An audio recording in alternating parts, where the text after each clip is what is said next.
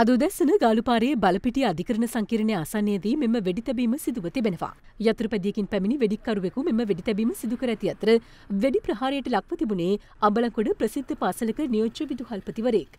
ඔහු අද උදැස්සන පාසල වෙත යමින් සිටියේදී මෙලෙස වෙඩි ප්‍රහාරයට ලක්ව තිබුණා. වෙඩි ප්‍රහාරයෙන් තුවාල ලැබූ නියෝජ්‍ය විදුහල්පතිවරයා සිය යතුරුපැදිය පදවාගෙන අම්බලන්තොට පොලිසිය වෙතම පැමිණ තිබූ අතර ඔහු පැමිණි යතුරුපැදිය පොලිසිය ඉදිරිපිට වැටී තිබූ ආකාරයයි මේ.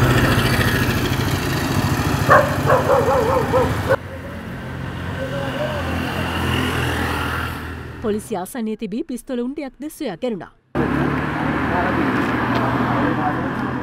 වෙඩි ප්‍රහාරයෙන් නියෝජ්‍ය විදුහල්පතිවරයාගේ අතට සහ පිට ප්‍රදේශයට තුවාල සිදුව තිබූ අතර පොලිසිය මැදිහත්වීමෙන් ඔහු බලපිටිය රෝහලට ඇතුළත් කර තිබුණා.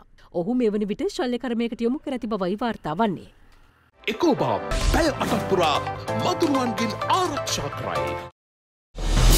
අද දෙරන YouTube නාලිකාව YouTube අද දෙරන දැන්ම සබස්ක්‍රයිබ් කරන්න.